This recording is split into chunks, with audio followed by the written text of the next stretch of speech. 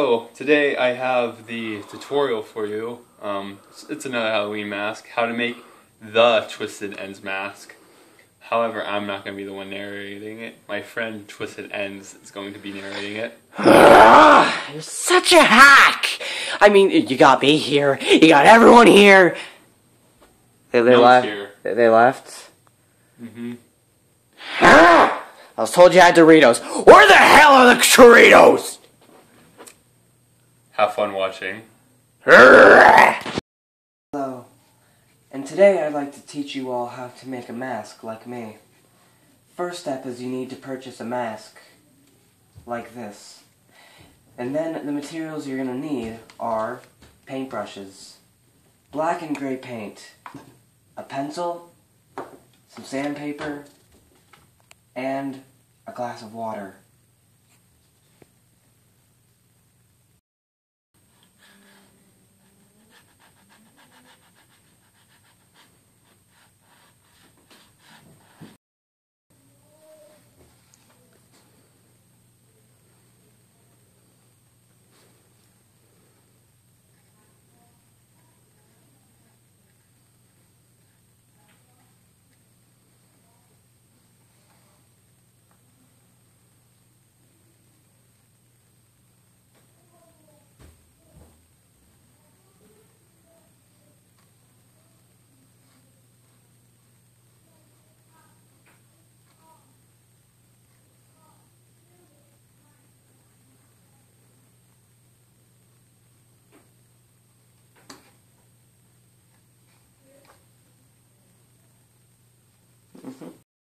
Mistake, and let's be honest, you're bound to. Don't don't worry, as napkins or just paper towels in general will wipe the paint away. Next, you're gonna need to get paint of any color. I chose black, and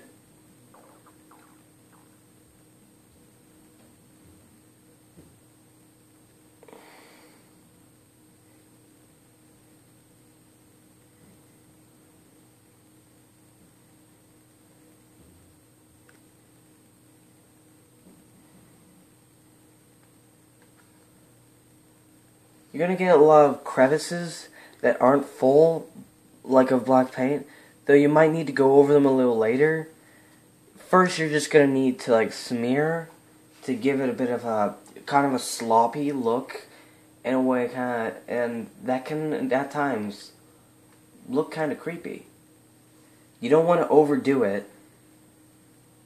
Next, after you got that done, set it to dry, and your best luck is to wash this off.